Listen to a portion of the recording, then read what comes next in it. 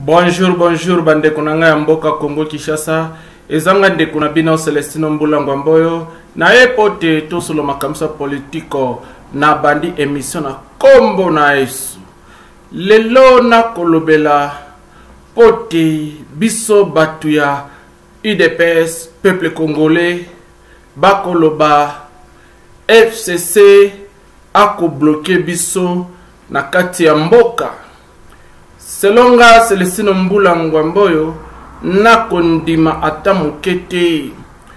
Toza na manque ya enseignement. Toza lisusu na ba acteurs politiques te na mboka Congo Kinshasa pona ko former ba politiciens. Eza difference entre acteur politique na politicien. acteur polit, politique politicien acteur, acteur politicien aformaka bapoliticien politicien aza moto oyo akoya koloba devant peuple alobaka malamu aprometaka bato makambo ya kitoko oyo moto aformaka politicien aza nde acteur na ye ozomona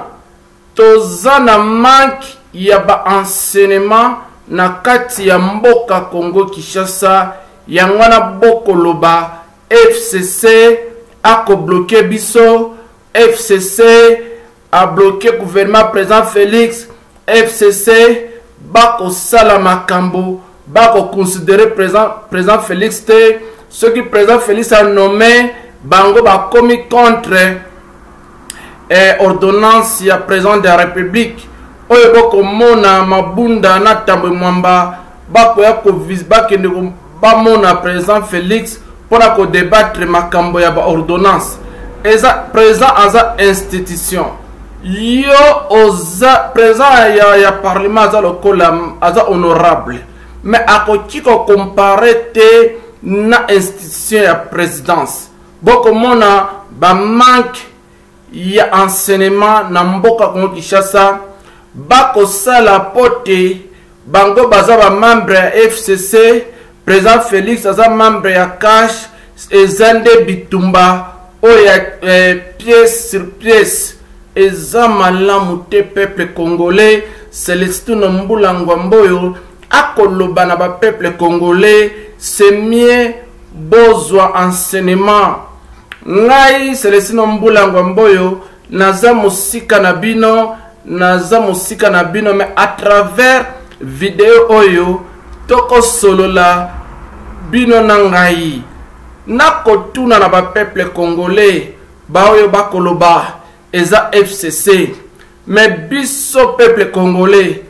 to, efale toza na stratégie Comment tokoki ko deboulonner blocage wana ya FCC? Ça fait tokende na deux ans na mandat ya president Felix kokoso mikakatano ba problème chaque jour tokomona verite te bato ya fcc bakoloba bango baza ba majorité na kati ya ya parlement ngai nakoloba boye ezala bato ya fcc baza majorité na kati ya parlement ekolakisa nga eloko moko te mpo te tolobaka fcc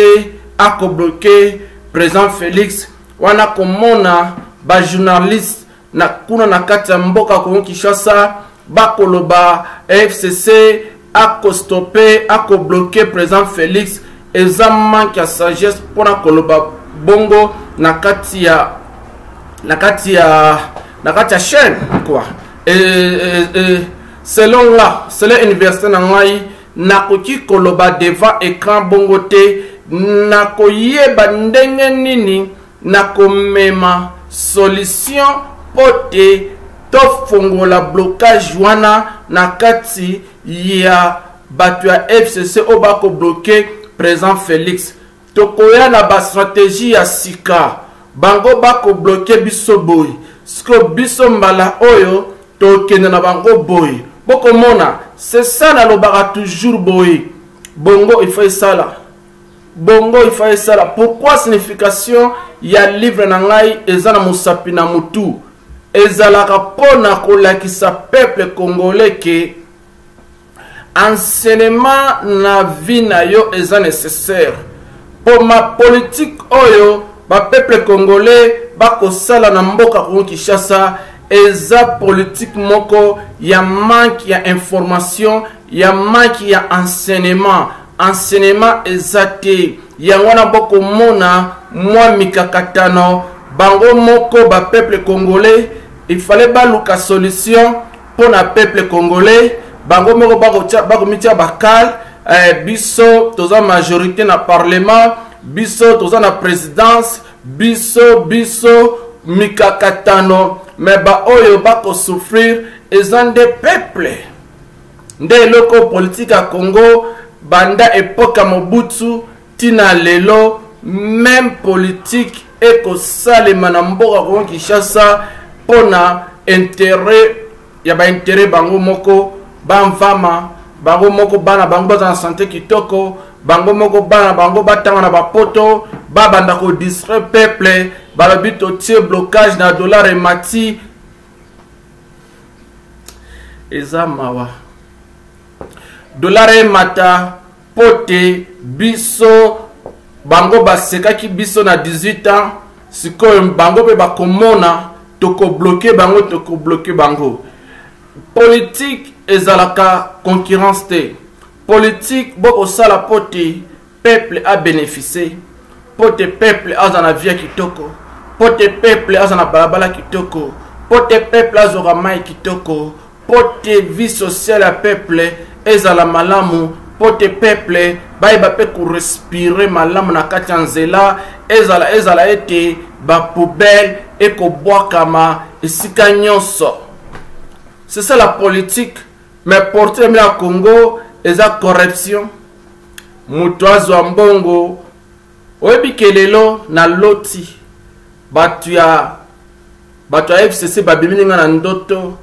bapolisi ya fcc bakanga ngai bakoloba na ngai celestino mbula se kabila qui dirige nga nalobi na bango na ndoto eza bino nde bolobi nga te eza bino nde bakoloba ke kabila dirige me ngai te na kati ya ndoto bakobangisa ngai je ne craine pas rien nakofanda na mboka mopaya pendant ba 26 ans namona makambo oyo oh, bino kuna mona te est ce que mike mukebayi akoki kotangisa peuple congolais politique koyeba etranger na kati ya mboka ye afanda na mboka nini mpo te atangisa adefendre banyemurengi mike mukebai azangi maloba koloba mikolo oyo akomi koloba politike moko boye lokola aza corrompre tika komba na bakombata oyo bakodefendre mboka soki ozwi mbongo fanda na yo tika politike mpo mandefu ekomi pembe makasi tika politike ngai mpe so namoni mandefu ekomi mandefu ekomi pembe makasi eza te ya repos nafanda na bana nasepela na bana bokomona manki ya enseignement ya bapeuple congolais ofanda na mboka mopaya te me olingi odefendre bapaya na mboka na yo biso baoyo baselestino mbula ngwamba oyo nde tokoki kotangisa koma kodefendre nation na mboka na yo mpo tofandi na mboka bapaya toyebi souffrance ya kofanda na mboka ya bapaya koma biso bakotraite biso bakokonsidere te ke toza bato na mboka na bango soki yo mopaya osali mbeba bakobeta bakobuma yo mwana mboka batushaka ye te soki oza étranger na kati ya mboka ya bato sala commerce okosala na babiro okotangisa na bauniversité na baekole primaire mais okoki kosala politique te po politique ezalaka bana mboka po te ba défendre nation na bango mais soki botie étranger na kati ya politique politique ekobeba akokotisa corruption po te aza na souci moko te mpo na mboka wana aza na souci na mboka na oyo abotama mpo ayebi esika auta eza lokola nga opesi ngai nakoma ministre awa me na osala tout mpo te famille na ngai na congo bazala vie malamu c'est ça batiaka ba étranger na politique te étranger asalaka nde business asala na ya babureau bokomona so mike mukebayi soki moto oyoki message oyebisa mike azwa ba enseignement avant aya koloba na kati ya plateau c'est ça ya manque ya bapeuple congolais tozangi tokoboya to ko kozwa enseignement peuple congolais omoni bino kuna na congo boyebi nga bien boyebi nga bien te bamosusu bayamonisi asali video il a de 40 personnes 20 personnes 10 personnes balandaka ngai mais na 10 personnes bakola na ngai chaque fois mais un jour bakotemanyaka bakoloba toza na garçon moko boye frère na biso congolais asalaka émission atindaka bavideo na kati ya bagroupe na facebook asalaka bona boye eh, alobaka boye alobaka boye okomona na jean de baptiste azalaki na kati ya desert me bato balandaki na kati ya desert mpo te babika nakoloba na kati ya desert lelo me un jour video oyo ekopesaka nalobaka président félix ifa négocier na israel mpo te ambassade ezonga namona yango nalobaka ekozala ane ya suka mpo na 2019 ekozala ane ya suka mpo na carrière part ya politike ya vital camere nalobaka nakoloba lisusu eh, eza suka ya, ya, ya, ya politike ya ruberwa na kati ya mboka kongo kinshasa tokokende malembe koenseigne peuple congolais ezala mpo te naganga nalata veste nalata kitoko mpo te boyeba ngai me nakoya nakoteya na kati ya desert na baoyo bakoyoka mongongo na ngai bakomemaka bavide oyo esika oyo bato baza na besoin na yango nakoloba boye na bapeuple congolais président félix alobaki naye kodeboulone mais apesi bino ba peuple congolais bi na ye kodeblone so bino peuple nde efale boyamba message wana boyeba ndenge nini ya kodeblone bablocage ya bato ya fcc na kati ya mboka bino moko peuple congolais bokondima corruption makasi peuple congolais bolingi corruption na nouveau moko diabolique niveau moko eleki ndelo na politike oyo bokosala na congo corruption partout me ndima mpasi mpo tobikisa mboka bino bokondima mpasi te bokolinga bolata baveste bolata ba, botambusa bapajero botambusa bamercedes eza vanité sur vanité ba ncc ya parti politique ya mandela bazalaka na kati ya tanzanie bakolata baboot eza différent mais lelo des années des années des années des années na kati ya tanzanie kuna bakofanda na kati ya zambie na kati ya mozambique na kati ya Botswana mais lelo babundelaki des années des années lelo vie na bango ekomi bonjour baza na babalabala kitoko baza na basala kitoko baza na baplace ya bashopping place basala bamagasin bango basala bango magasin mwa kitoko bokomona vi na bango kokende liboso mais bino peuple congolais bokolinga te komisakrifie mpo te lobi bana na bino babeneficie bokolinga te bokoloba kaka bajournaliste na bino chaque jour na kati ya batelevizio o oh,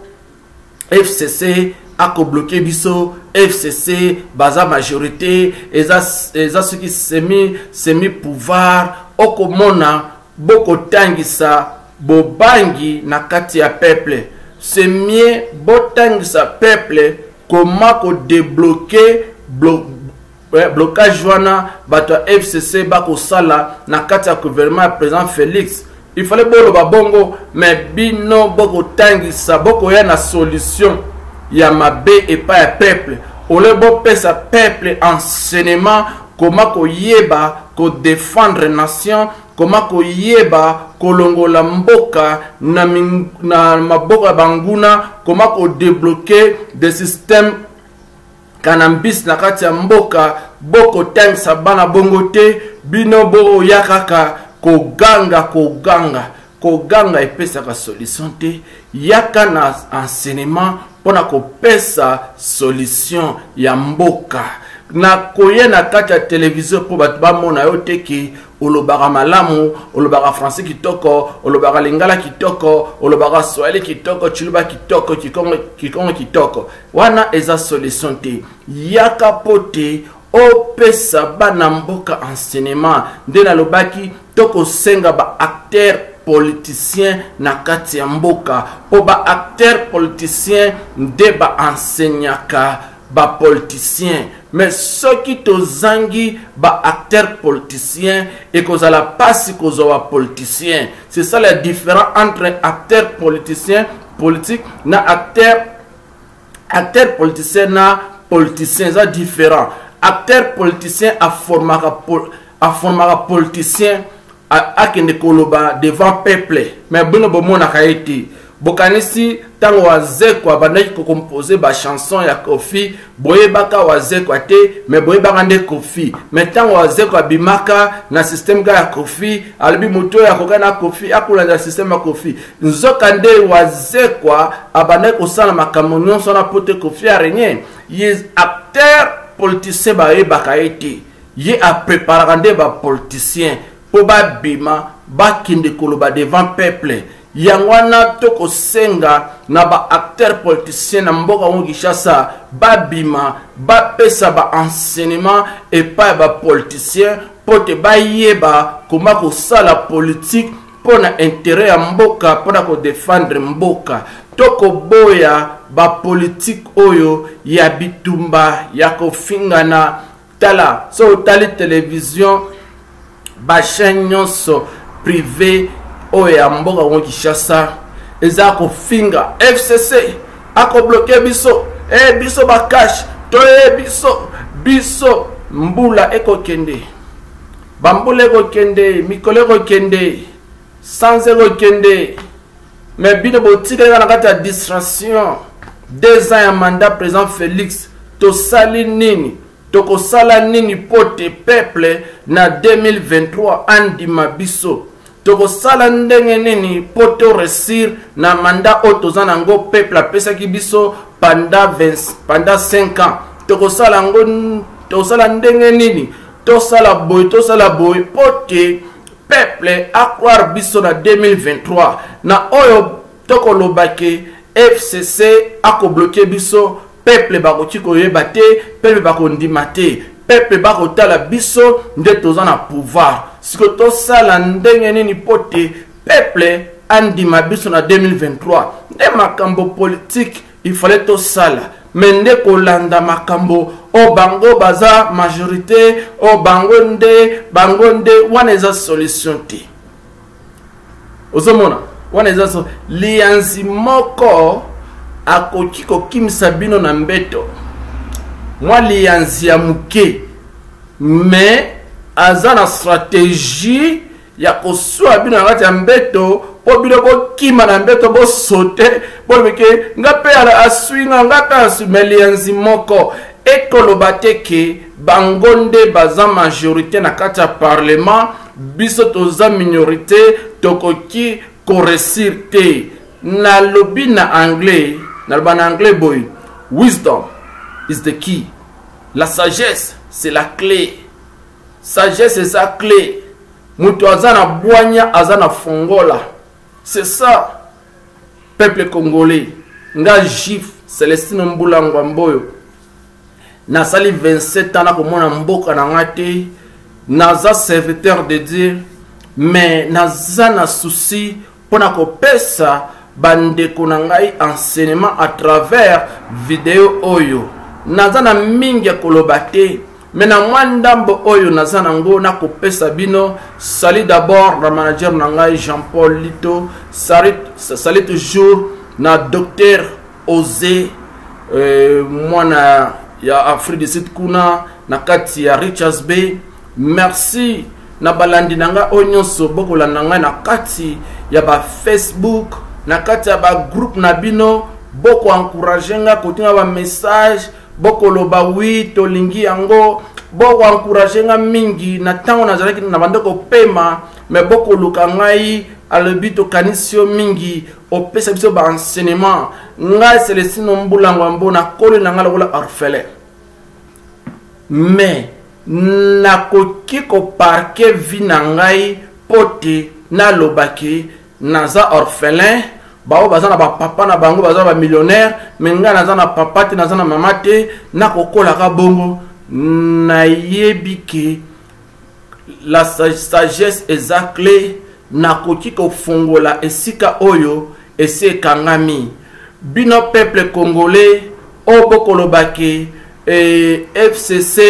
akangi baporte fcc abloke boza na fongola mpo na kofongola bablocage nyonso wana botika makambo ya kolela botika makambo ya koloba baza majorité botika makambo ya koloba alobi bango batikeli bino présentiel bango bazwi ba institution nyonso te bongo ifo esala bongo eza nde fongola oza na fongola ya kofongola ngai nakoli na mboka mopaya sans papa sans maman sans ndeko mais nakomi livre ya politique nakomi livre oyo ekobima semaine oyo ekobenga après mariage nazo naza na livre mosusu naokoma mpo na bamiracle ya lokuta bamiracle ya lokuta naza na livre ya kokoma mm, eh, villageois akomi président naza na livre ya kokoma bamakambo ebele na kati ya monde ekoloba te ke il fallait papa na yo azala millionnaire mpo yo okoma mpe millionnaire eza bongo te ekoloba te ke papa na yo atambusa motuka te yo okotambusa motuka te peuple congolais bozwa bongo bongo c'est très nécessaire na vie soki oza na bongo okoki kobanga motu te okoki kobanga fcc te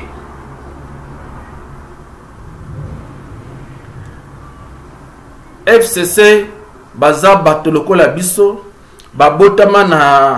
na 9 mois baza batusi rwandais bapaya me yo mwana mboka obotami na mboka wana makila ya mboka wana bongo mopaya abangisa yo eske wana eza normal ya bandeko na nga bacongolais nakoloba na bino lelo eske eza normal bozwa enseignement bo negligeaka moto te peuple congolais bino bolingaka kolanda so bomoni ke chaîne wana eza populaire bolandi kuna mais eza na bato moko boye boko neglige mais baza na baenseignement moko boye ekoki kopesa yo 1 plus 2 na kati ya vie na yo na kati ya bongo na yo bo néglige te peuple congolais ndeko na bino celestino mbula naza ndeko na bino congolais ekoloba te ke nakoloba lingala malamu te nakoloba uh, français malamu te nakoloba chiluba malamu te swahili malamu te kinongo malamu te mpo obude ngai me na oyo nakosala nako tu mpo te oyoka ngai mpo na intere ya mboka ndima ngai yamba message oyo naloba su lingala malamu te mpo na ba 27 ans nakoloba anglais kaka monoko na ngai nalobaka eza nde anglais mais mpo na koforce kaka Kozongisa lingala bomwana mwa mikakatano ezali, koseka nga te, me yamba mwa message oyo naza nango mpo na bino peuple congolais, idps toza na besoin ya enseignement na kati idps, totika ba emprema na kati idps. totika ba embrema na kati ya depes toza na bato ya ba embrema baza mingi ozwi ka mwa message moko boye osali mwa chaîne oloba mpo tosala vi na yo mpo tosumba fufu ya bana na yo mpo te oza membre ya depes te kozala membre ya depes idepes eza parti ya baenseignant bato bakotisa demokratie na kati ya mboka congo le marcel liao eh? eh, lusanga ngele de kibasa madiba le leader charismatique b52 le papa etienne tshisekedi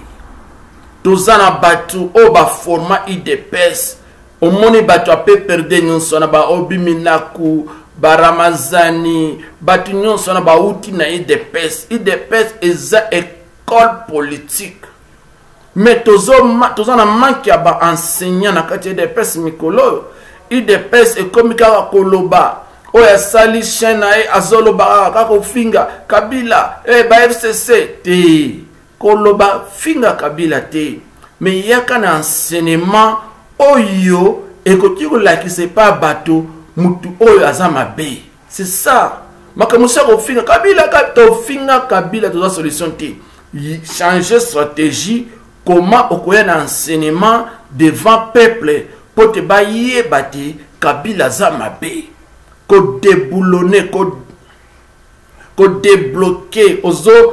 ozofongola blocage na ye na kati ya enseignement mpo te peuple bacomprendre ke motu oyo aza boye aza boye sikoyo tosala ndenge nini tokotela boye mpo tolonga bango se sa tokoluka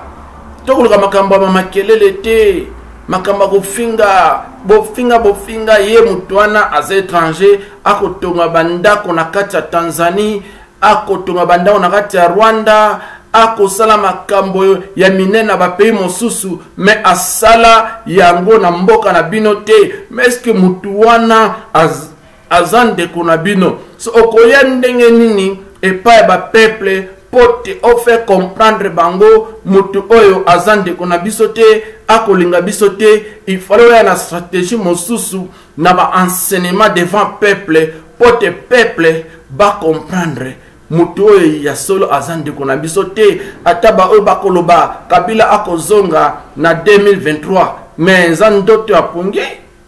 sala concession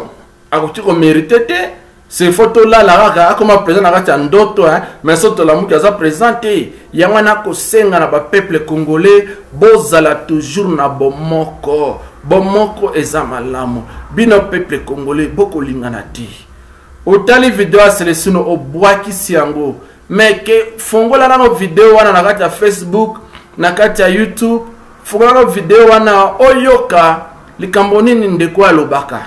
me bino te mpo toyebi celestino mbula te aza nani toyebi ye te ah, toyebi chaîne wana chaîne wana nde ezalaka ya biso chaîne wana nde mabe ya peuple congolais ndeko nyonso aza ndeko na yo etaki omoni drapo ya congo eza na nsima fongola video oyoka nano ndeko oyo na biso alobaka nini peut-être na oyo nakoloba peut-être okobeneficie